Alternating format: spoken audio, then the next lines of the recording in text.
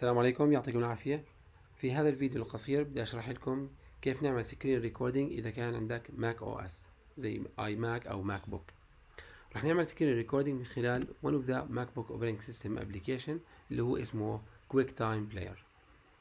عشان نلاقي ال QuickTime Player أيضا بنعمل search من خلال Spotlight نكتب كلمة quick بيطلع عنا QuickTime Player أو بنروح على Finder على applications واحد من هذول ال application اسمه QuickTime Player نكبس double click على QuickTime Player طلع بيفتح ال QuickTime نروح على file في عنا new movie recording new audio recording new screen recording إحنا نكبس على new screen recording بتطلع لنا هاي ال box. في هون بحد ال button تاعيت ال recording هاي ال recording button فبحدها سهم صغير بيحكي لك لي هون اختار الميكروفون اللي بدك تسجل من خلاله.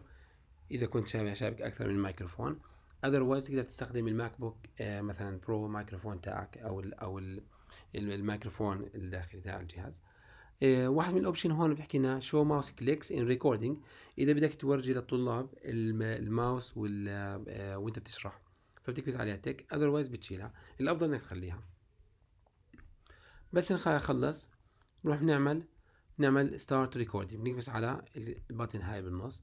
بحكي لي هون click to record the full screen يعني إذا بدي أعمل recording لل full screen لكل الشاشة تاعتها كل شاشة الجهاز بكبس أياتها مكان.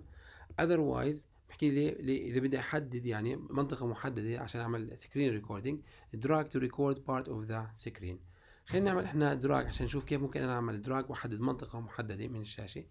بعمل هون drag أنا بعمل هذا الشيء في, في على ال mouse track في الثلاث أصابع. بعدين بتحدد المنطقة اللي بدك تعمل لها هاي recording خلينا نفترض إنه إحنا نعمل recording لكل الشاشة يعني زي كأني أنا بعمل ال full screen recording بعض الناس ما ما ما بيحبوا يضيفوا هاي المنطقة اللي فوق أو في بعض الناس ما بيحبوا يضيفوا المنطقة اللي اللي تحت. إحنا خلينا نعمل من لكل الشاشة زي كأني عامل أنا full screen recording بس اخلص بكبس على اللي بالنص هون اللي اسمها start recording بس اكبس start recording أنا هيك بلشت أعمل recording للمحاضرة تاعيتي. ببدأ مثلا بحكي بشرح للطلاب إذا في عندي PowerPoint slides بحكي لهم عنهم. إذا في عندي application بدي أحكي للطلاب عنه بدي أشرح عنه مثلا بدي أشرح للطلاب شيء موجود على ال Word document أو بدي أكتب لهم شيء بكتب لهم إياه هون قدامهم. إذا في application أنا عندي بدي بدي أفتحه واشرح لهم من خلاله مثلا for example Visual Studio بقدر أكتب للطلاب اللي بدي إياه هون okay؟ بس أخلص التسجيل تاعي وأنهي المحاضرة بروح بكبس على ال QuickTime Player وبكبس على ال button الدويرة البيضاء هاي اللي شايفينها هون اللي هي هاي stop recording icon بكبس عليها stop recording هيك بكون أنا سجلت المحاضرة وخلصت.